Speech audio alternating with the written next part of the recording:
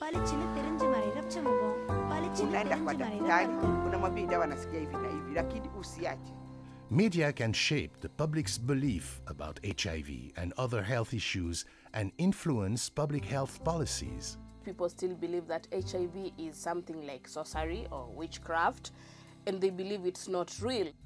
Poor reporting can inflate false rumors, provide inaccurate information, and increase stigma and discrimination.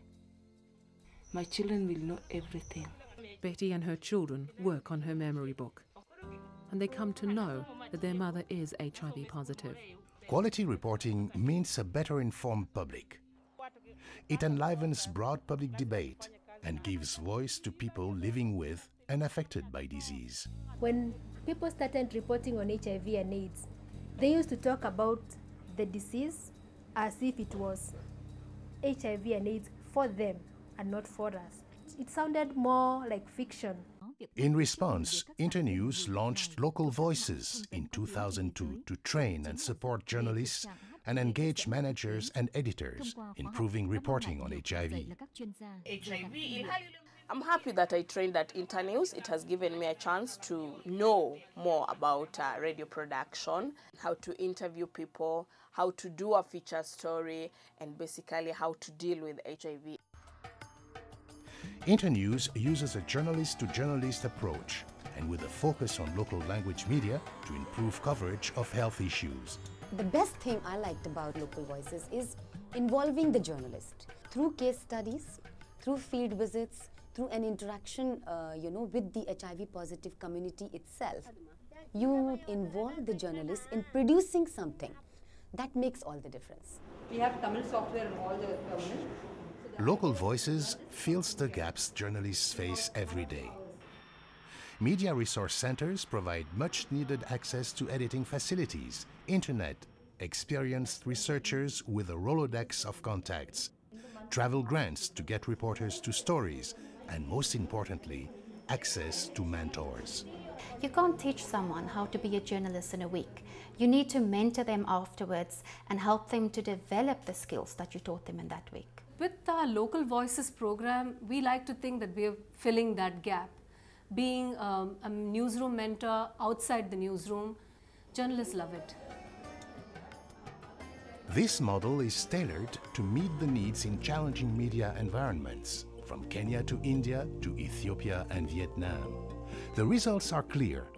Reporting improves, the public gets vital information, and reporters see the benefit of dedicating themselves to coverage of HIV and other public health issues. In Ethiopia, Local Voices introduced radio feature reporting. We have never done radio features before the training, and that paved the way. In India, the mentoring from Local Voices inspired a groundbreaking talk show, challenging stereotypes. Transgender people have been shunned by the media, and so I want to be there and keep being that positive star. Reporter Sami Muraya began covering health issues after attending an Internews workshop. His first investigative report covered transactional sex between Matatu drivers and young girls in Kenya. I dwelled mostly on children's programs. I came to Internews, got trained in HIV and AIDS reporting.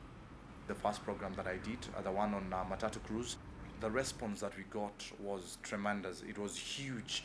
The National AIDS Control Council officers realized how big a problem and a risk the, the Matatu crews were. And so from there, then they started a program that was geared entirely towards the Matatu crews. And from that uh, time on, that is when I decided to do um, HIV and AIDS reporting. The key is improving local reporters' ability to tell the stories of HIV in a local language and context, making the story relevant to the audience. Giving a story a human face or that human voice brings a story to life.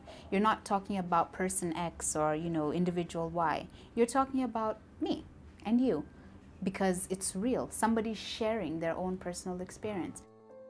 Local Voices has trained over 1,000 journalists to tell these stories, often exploring taboo issues.